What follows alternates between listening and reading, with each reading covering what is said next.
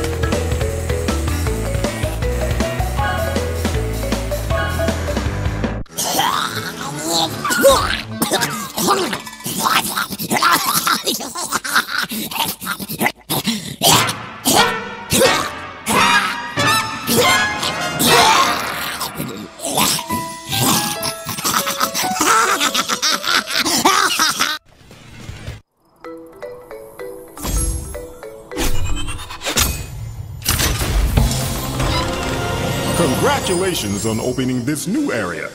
Here you will find four more tracks to race. Good luck!